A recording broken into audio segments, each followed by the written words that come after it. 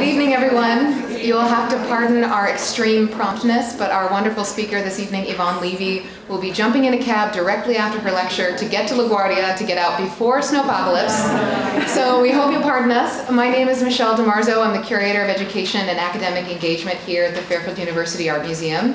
And it's my great pleasure to introduce to you this evening Evonne Levy, who is Professor of Art History at the University of Toronto.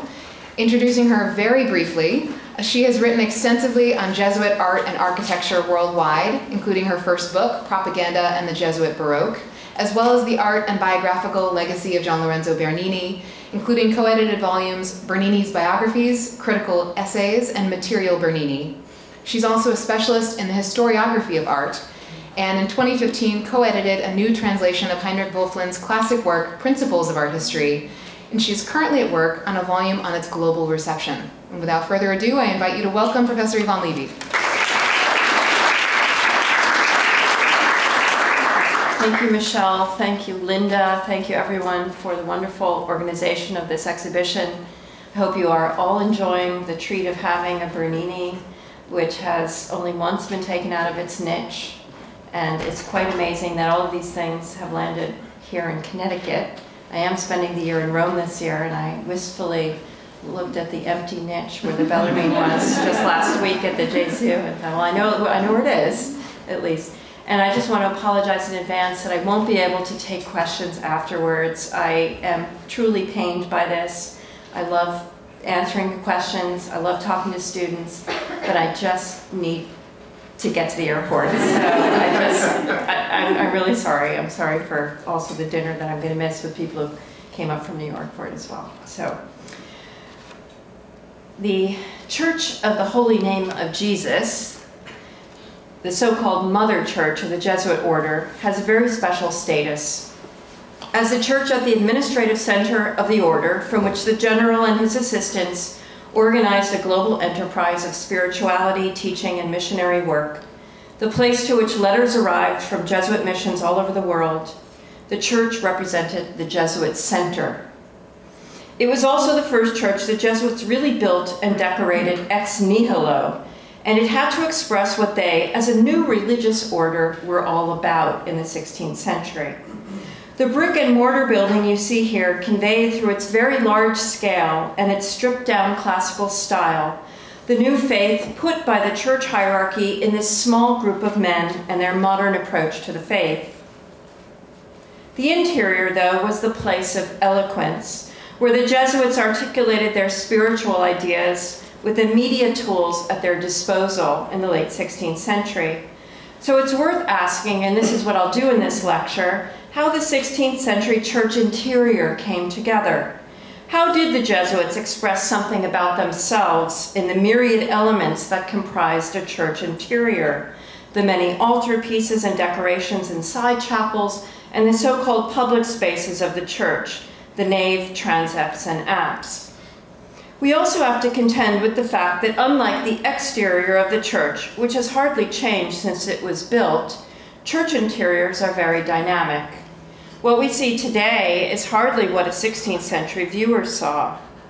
The Jesuit order itself changed over time, and as I will show, they updated their interiors, adapting them for new messages the Jesuits wished to convey about the society through the 17th century, which is the scope of my lecture today. Putting together a church interior involved figuring out what your church was going to say, arranging the furniture accordingly, and commissioning pictures to create those messages. I imagine the Jesuits gathered around a plan of the church figuring out what goes where.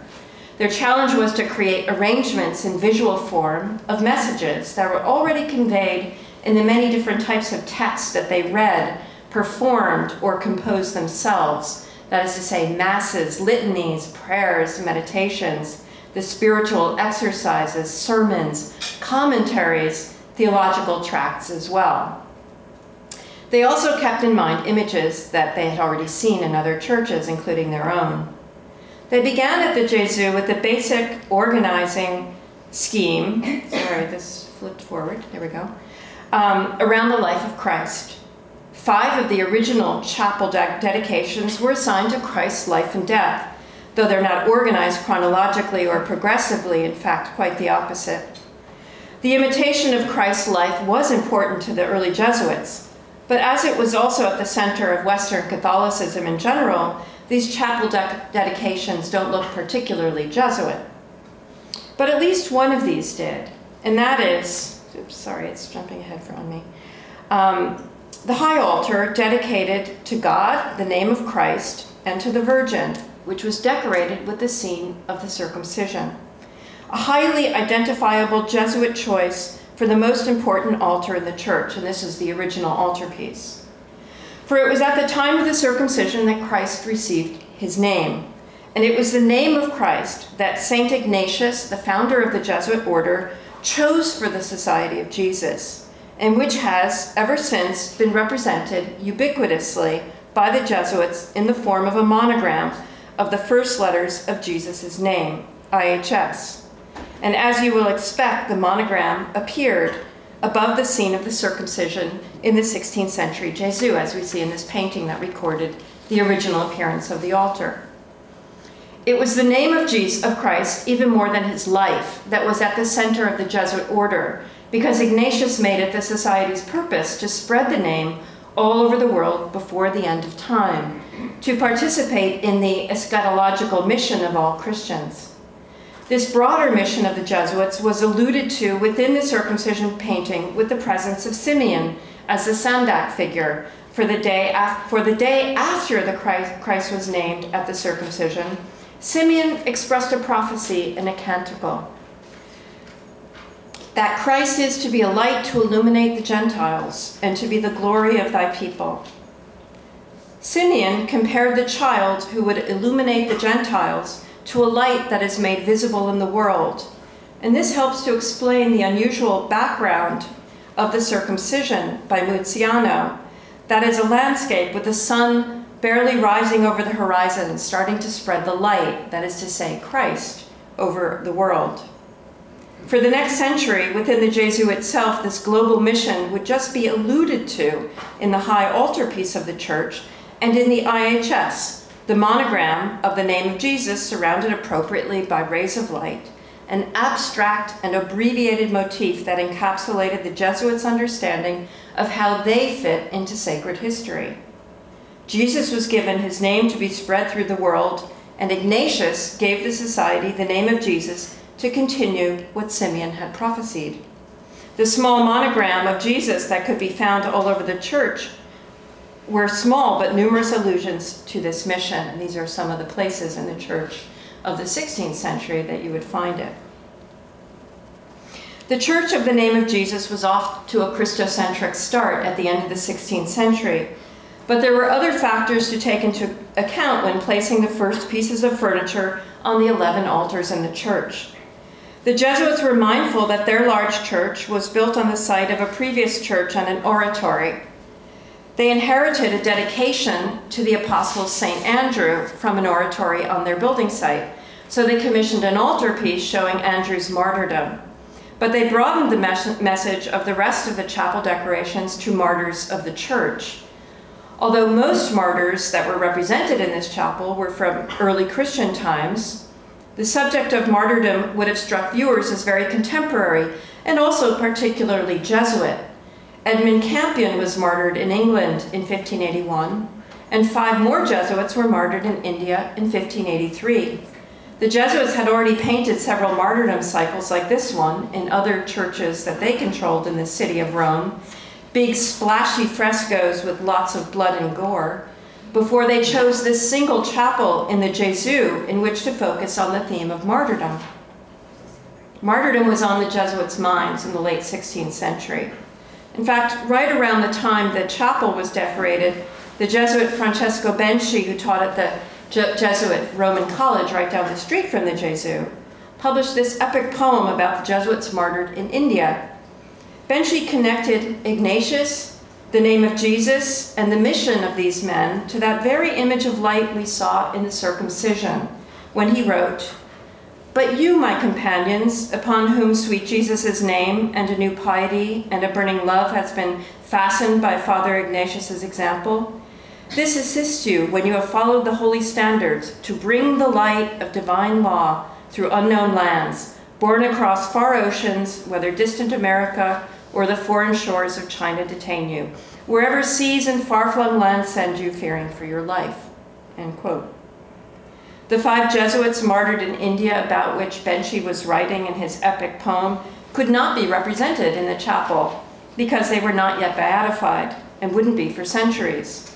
The Jesuits might have been getting ahead of themselves when they represented the five martyrs of India with other Jesuit hopeful saints with the martyr's palm in this relief that adorned the tomb of St. Ignatius from 1629. The recasting of that relief, which you see in the exhibition downstairs, has eliminated the martyr's palm, probably because canonization was not in sight. But let's go back to the Chapel of the Martyrs. The audience for this chapel would have been aware of just how contemporary martyrdom was.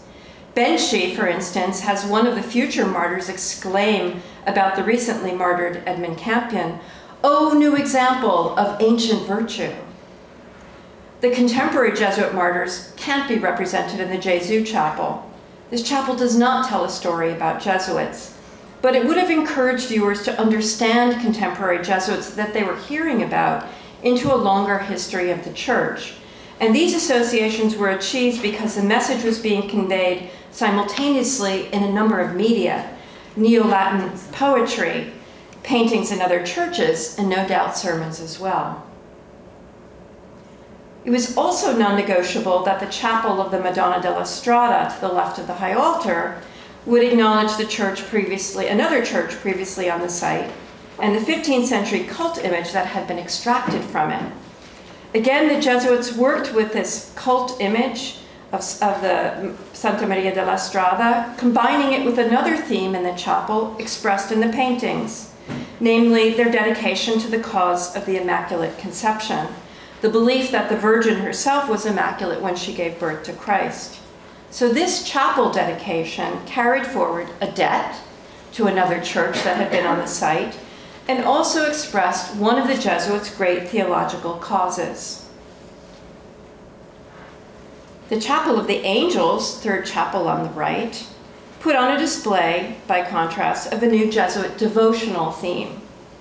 Organized around the archangels, the chapel's decorations, which were executed around 1594 by Federico Zuccari, include relatively novel representations of hell and purgatory on the side walls with angels participating, and a controversial altarpiece representing seven archangels, not all of whom had been agreed upon by the church.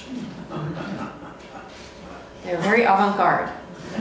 Various authors have pointed out Jesuit connections to angels, including the meditation on the guardian angel in Ignatius's spiritual exercises, and the Jesuit theologian and Cardinal Robert Bellarmine's promotion of the cult of the angels. The chapel presents less of an experience of angelic intervention, although this was also possible, than a kind of encyclopedic argument about angels, a dense compilation of ideas piling up argument, argument upon argument for the angel's efficacy in bringing us to God. Like the chapel of the Madonna of the Strada, which I just spoke about, this chapel has the earmarks of a theological argument the Jesuits were busy making out in the world. In this chapel, they were showing off their theological chops. The dedication of the chapel to the right of the high altar to St. Francis of Assisi is very unusual for a Jesuit church since Francis was the founder of another religious order, and I threw this in for the medievalists in the audience. So it demands some explanation. Some scholars believe that the subject was chosen by Ignatius himself out of his own personal devotion to St. Francis, or by the general Francis Borgia in recognition of Francis' importance to Ignatius. This must be right in some way, but the Jesuits must also have thought that showing the figure on whom Ignatius modeled himself would have helped in the ongoing effort to prove their founder worthy of canonization. The fact was that at the time, the Jesuits were decorating their mother church. Ignatius, like the recently martyred Jesuits from India, could not be represented in a chapel near an altar because he was not yet canonized. So the idea here, too, is that the image of Francis could, through association, bring Ignatius into the room. Most of the paintings in this chapel suggest likenesses between Ignatius and Francis. So, for instance, St. Francis once appeared in a fiery chariot, giving him the reputation of a saint who was fiery and illuminated. This is precisely the quality the Jesuits seized upon for Ignatius on the right, in whose name they found a kind of false etymology of fire in the word ignis, similar to Ignatius, inigo. By omitting the horses and chariot in the scene represented in the chapel on the left that often accompany this scene, Francis was made more like Ignatius. The appearance of St. Francis before the Sultan would have brought to mind Ignatius's ardent but ultimately foiled attempts to reach the Holy Land. But more importantly, it would have brought to mind the dedication of both the Franciscan and Jesuit orders to missionary work, and especially Francis Xavier, Ignatius's companion's extraordinary missionary work in Asia. The image presumed to have been on the altar of the stigmatization has no precise Ignatian parallel, for Francis was practically unique in this form of imitation of Christ. Yet images of Ignatius hint at a similar, though more conventional relationship to the crucified Christ. The most common image of St. Ignatius that was circulating at this very time, the late 16th century, was Ignatius in prayer before a crucifix. Almost every image in the chapel of St. Francis of Assisi has a parallel in Ignatius's life, except the episode of Francis talking to the animals. And it was precisely at this moment that engravings showing Ignatius's life were just being cautiously prepared for circulation when they could be circulated after the beatification in 1609. So here is an example where there is no Jesuit story in the chapel, but the Jesuit, Jesuits themselves would have recognized their founder in the figure of Francis everywhere. The constraints around the representation of Jesuits in their churches were finally lifted in 1622 when Ignatius and Xavier were canonized. As saints, these two figures could now have altars dedicated to them. It was time to move the furniture around. As saints, Ignatius and Xavier now had pr the privilege to have altars dedicated to them, so the relics of Ignatius were moved into the prestigious left transept, and Xavier was moved into the slightly less important right transept. The Christological core of the church decorations were thereby obscured, right? So you see the chapels of the crucifixion and resurrection are now gone. Instead, the Jesuits were entering a phase in which their mother church starts to tell the society's history overtly. We don't have a record of what the Ignatius and Xavier chapels looked like in 1622 when the relics and Xavier were moved into them, but we know enough of what was in them that I can say with confidence that did, they didn't manage to make a big splash. A few new paintings of their new subjects were commissioned. These are now in the Vatican and lots of silver accrued on the altars on the feast days of the saints. The decorations were long recognized as provisional and unsatisfactory. And so the church would remain in a provisional state for 50 years. Giacomo della Porta's magnificent barrel vault and the semidome of the apse remained white and unadorned, just as we see in this very large painting showing the church all dressed up for the first centenary of the Society of Jesus celebrated in 1639. On major occasions, it was customary to, I'm sorry, it was customary for the walls of churches to be covered in the luxurious textile medium, rendering the church practically unrecognizable. Tapestries, damasks, and silks hung over and obscured the pilasters and other architecturally distinctive elements of the church and it did not seem to matter that the scenes were of quite unrelated profane subjects. The point was to make the familiar splendid for the occasion, and rather unfamiliar on the occasion. Pope Urban VIII, accompanied by nine cardinals, princes, and Roman nobles, was received by the Jesuit General Vitelleschi, as we see in this painting. The artist who organized the display of tapestries, Andrea Sacchi, included himself in the painting on which he also collaborated to record the occasion. The Pope was recorded as having admired the magnificent apparatus, which was no surprise since the textiles came from his family's collection. And once the party was over, the Gesu returned to its whitewashed self for another 30 years, while the Jesuits worked behind the scenes to raise funds and sought the cooperation of the heirs of the founders, the Farnese family to carry forward the decoration of the church.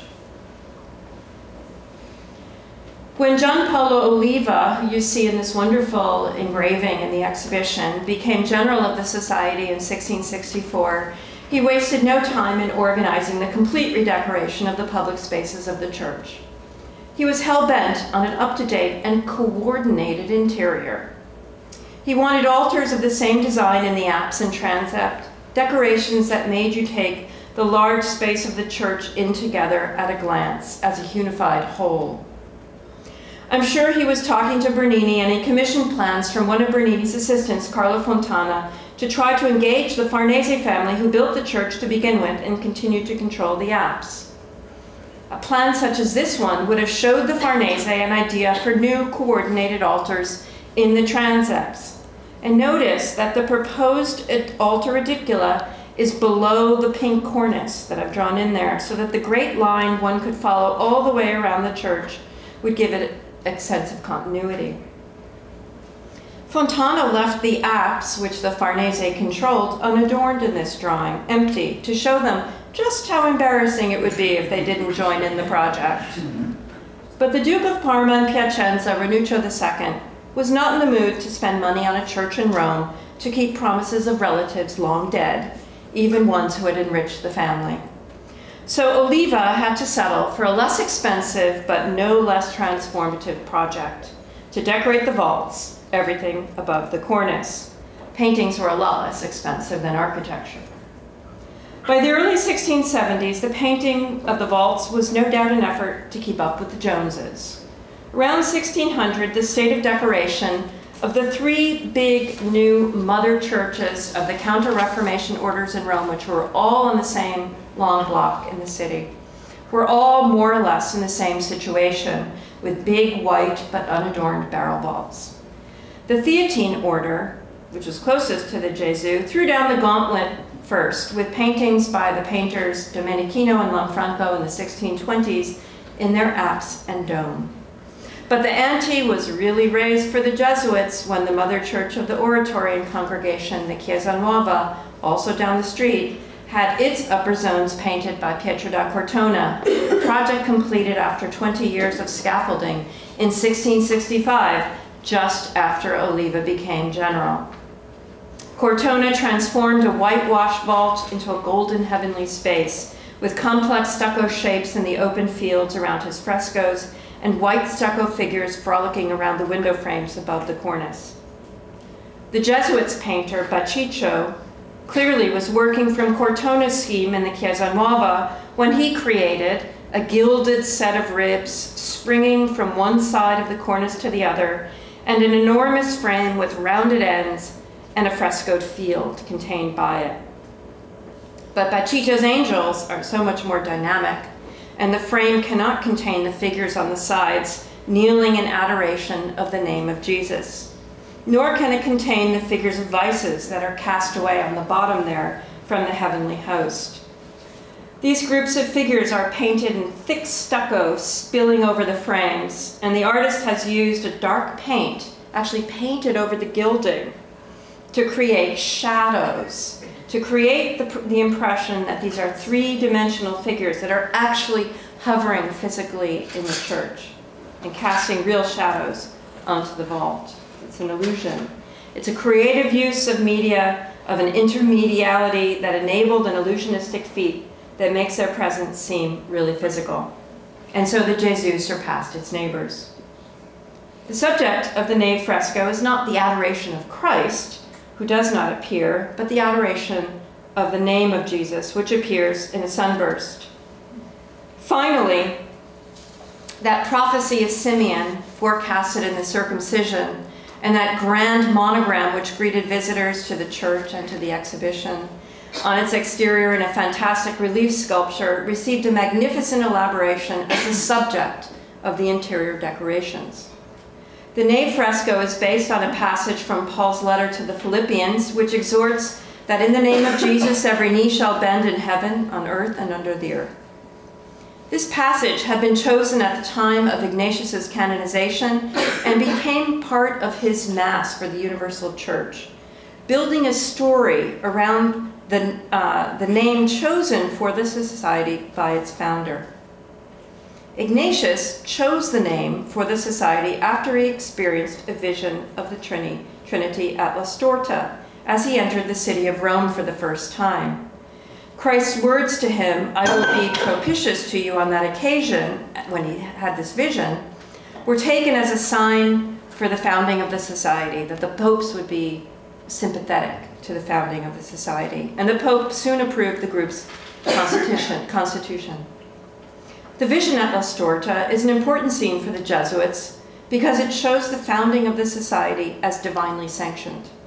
It's represented in the exhibition with this beautiful painting by the Bolognese artist Domenichino. But maybe the painting was a bit subtle. This engraving, by contrast, makes explicit that the outcome of Ignatius's vision was the founding of the Society of Jesus and the choice for it of the name of Jesus, which you see inscribed on a cloud. the ceiling fresco, the adoration of the name of Jesus, expresses the convergence of the name and the core mission of the Jesuit Society. And that passage from Philippians, on which the ceiling was based, was given new prestige and liturgical presence precisely at the moment that Baciccio was painting the vault because the official Mass of Ignatius as a Mass of the Universal Church was released just as he was making this fresco, and the, the letter from the Philippians passage is part of the Mass. Now, one of the most novel and dramatic changes Baciccio introduced to Cortona's design was to populate the window frames above the cornice, running high above the nave of the church, with standing stucco figures now here, the artistic ideas of Bernini have come into play again. For the immediate precedent for such a display of standing figures perched above a cornice was probably the colonnade of St. Peter's, which was gradually being populated with marble figures of saints from across the globe at this time. Bernini admired the Jesus cornice, we know that, and he recommended that the Jesuits maintain it unbroken, the statues help to emphasize the continuity and to shape our experience of the space as a coherent one. The statues themselves, which have until recently been pretty overlooked, represent rulers and leaders of Catholic realms, papal and imperial power, and then representatives of the territories of Asia and the Middle East, Africa and the Americas.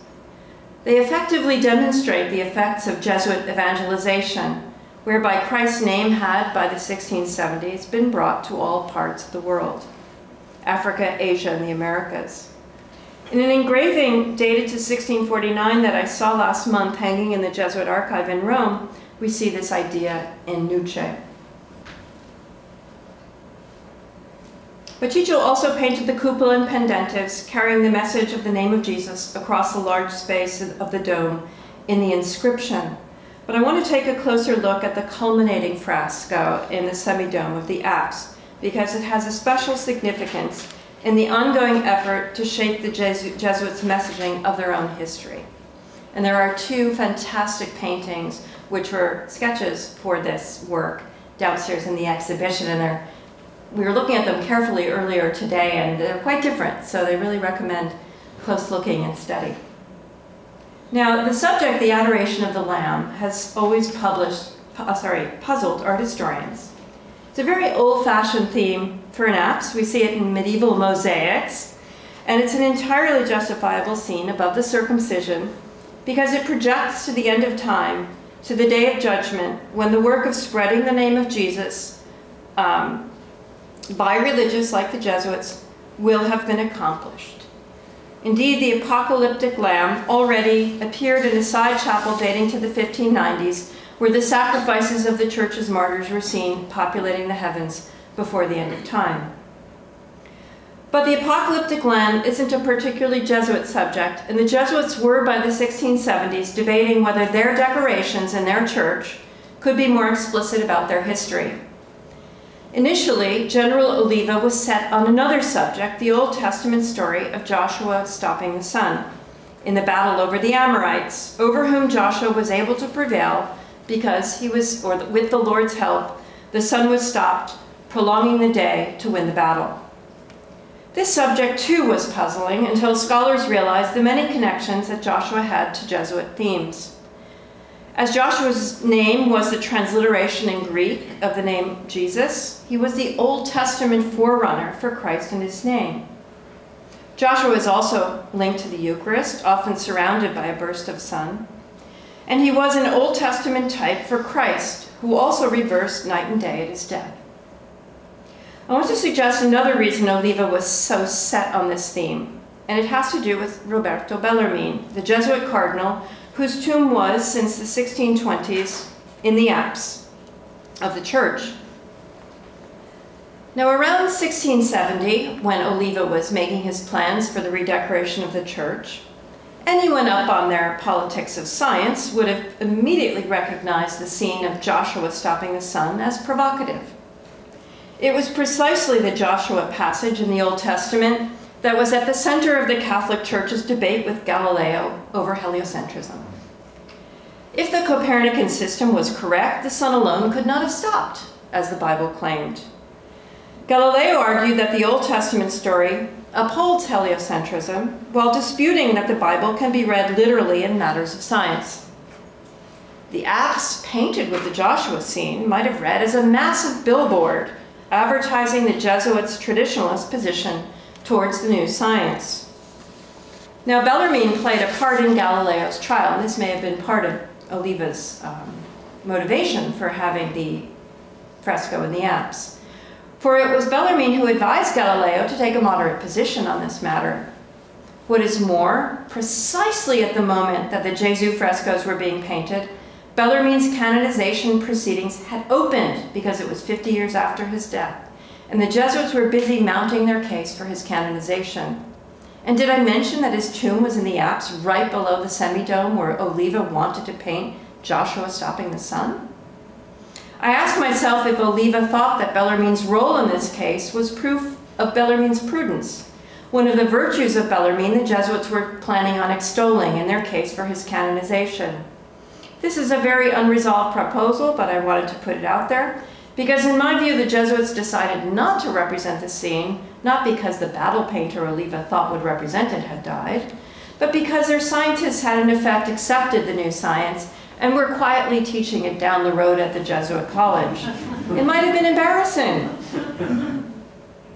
Now the Jesuits also proposed a third subject for the apse. So sorry, here's my slide. This is where Bellarmine's tomb is, and you see it in relation to the fresco with the, with the bust in it. Yeah. Hmm. Now, the Jesuits also proposed a third subject for the apse in a document that has not been discussed much. In it, an unnamed in this document, an anonymous Jesuit argued that the adoration of the Lamb, which they eventually settled upon, as we know, was not specific enough to the Jesuits. It's a subject that could appear in the church of any other order. As an alternative, he suggested an invented scene based on an often illustrated passage in the book of Revelations. And I show you here a 10th century manuscript illumination, still trying to seduce the medievalists here, in which Christ promises to the angel of Philadelphia his name given anew. You can see the attraction of the passage to the Jesuits, a passage that focuses on the giving of Christ's name. For the Gesù, our author proposed the following invented scene. It's a sort of riff on this passage from Revelations. He said, this is a quote from the document, Christ should be shown in the act of giving his name, his new name, to the angel of Philadelphia, who appears alone with his candlestick and designates the first ten fathers of the Society of Jesus, with ten lamps, and around them the 24 elders adoring Christ and pra praising him for such a great feat and for the succor sent to the Holy Church by this, in this order. End quote. Our author backed up his idea, his proposal for a really invented kind of scene, with an authoritative interpretation of the passage, the scriptural passage, by the medieval commentator Joachim of Fiore, who understood Revelations 3, 7, 10 as prophesying the coming of a new religious order which would be given the name of Jesus and which would help to usher man into the third age. These men, according to Joachim Fiore, would live life halfway between the active and contemplative life, engaged in earthly affairs, and not wholly withdrawn in contemplative life. As the scholar Marjorie Reeves has commented, as a piece of real prophecy, there could hardly be a better delineation of the Society of Jesus and the role it conceived for itself. So our anonymous Jesuit in this document shared the belief of many that the company to which Ignatius gave the name of Jesus was the fulfillment of that prophecy, as interpreted by Joachim of Fiore. The plan for the fresco would have made visible to all that the Jesuits, like the Franciscans and Dominicans, who had laid claim to Joachim's prophecy before the Jesuits, viewed their enterprise as part of God's plan to unite the universal church. Now, our author clearly did not convince his fellow Jesuits, although I asked myself, looking at the, the uh, paintings downstairs, whether there might be elements of this plan in that representation that haven't yet been discerned. So the Joachimite interpretation of the coming of the Jesuit order never took on visual form, although this text from Revelations was much discussed in printed sources and sermons by the Jesuits.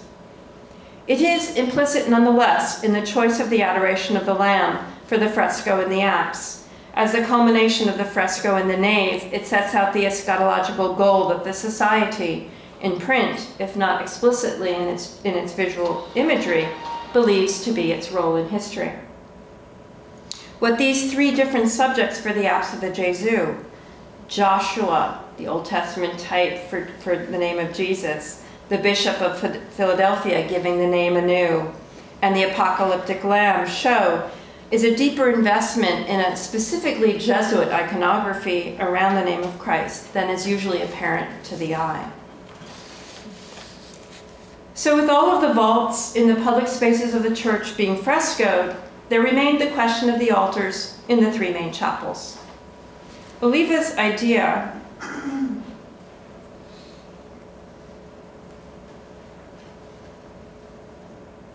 Oliva's idea that all three altars should be of the same design and not interrupt the beautiful uninterrupted cornice was immediately dashed. A rogue cleric from Genoa who agreed to redecorate the right transept, which you see here, insisted on hiring his own architect and painter, not a team player, and he certainly spent more money in the chapel than had been spent before, with its marble columns and a painting of the Death of Francis Xavier by the painter Carlo Maratti, and he spared no expense in the painted and gilded vaults, which are quite nice. But they didn't follow Baciccio's scheme, and Oliva was upset that the architect obscured and broke the cornice with the stucco figure representing the soul of Francis Xavier ascending to heaven, here in a drawing in the exhibition. A gilt bronze angel carrying the venerated relic of Xavier's arm, the arm with which he baptized so many in India and which, as Linda pointed out, is now on tour in Canada, was a nice conceit. But overall, the Jesuits were very dissatisfied with the result of this chapel, and they considered the chapel practically a waste of money, quoting their words. So when in 1695 the Jesuits turned to renovate the left transept chapel dedicated to Ignatius with its all-important relics of their founder, and adorned with this painting since 1622, they had to contend with some past decisions. First, they received the rights of cessation uh, and rights to the chapel from the Savelli family that originally built the Chapel of the Crucifixion. So they were free to do as they pleased, and they left a memento of that former patronage tucked into the corner of that chapel, the Savelli coat of arms and a, and a very um, carefully put together inscription. The chapel was paid for by the society itself, and this unusual form of patronage was represented in the lamps that had figures representing the different provinces of the order meandering across and protecting the tomb. Lamps, just think of it, the Jesuits spreading the name of Jesus as symbolized by light. The chapel was not bare, but Baciccio had already frescoed the vault and the urn dated back to the 1630s was to be reaccommodated, though not the painting. And then there was the question of coordinating with the right transept chapel. Because they were so unhappy with its design, they decided that the design would be conceived independently. The architect of the project, the Jesuit Andrea Pozzo, covered part of the cornice, if for no other reason that Ignatius was a more important saint than Francis Xavier, and this chapel should simply not appear smaller.